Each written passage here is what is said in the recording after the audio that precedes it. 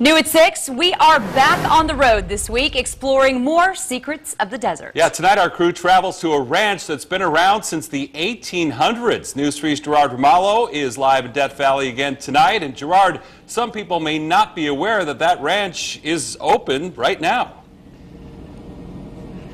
Well, that's right, Jim. We're obviously at China Ranch, and yes, you're right. It is open to the public. It's a little off the beaten path, but certainly worth the trip. You can actually come out and explore the grounds and learn about the interesting history out here. A very unique place, and that's why we chose it as tonight's Secret in the Desert.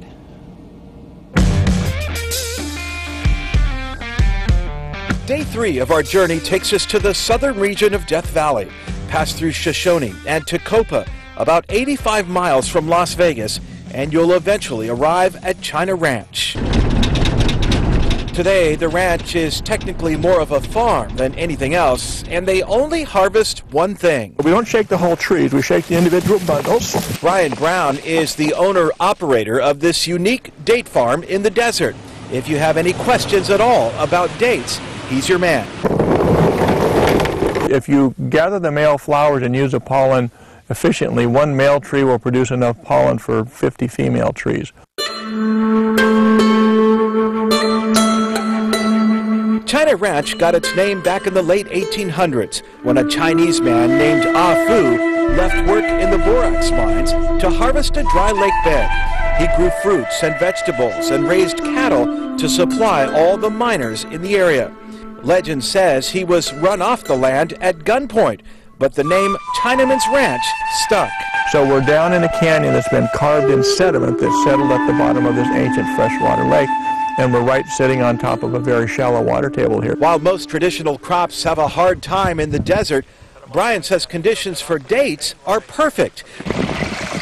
There's even a natural creek that flows through the area. He says the demand right now is much higher than what he can produce, up to 100,000 pounds per season. One thing he does hate about dates. Oh yeah, there are a thousand dumb date jokes, you know, and uh, you know, blind dates, cheap dates, blah blah blah. Um, and uh, you still like dates? I do. I still eat dates. I do. Yeah. Aside from the harvesting, they also make about a dozen date-related items, not the least of which are their famous date shakes. China Ranch is a must-see stop if you're traveling through Death Valley you can even bring a date.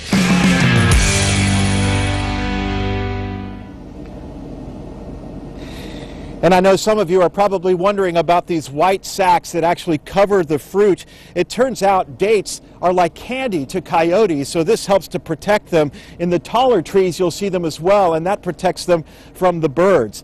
I'm also sure that many of you are wondering about shakes. I don't uh, exaggerate about these kinds of things. They are absolutely delicious. As my photographer Chris Jones would say, they are the thebomb.com. But uh, we're at China Ranch, chinaranch.com. We're going to have more information oh. on our website. Really, really worth the trip.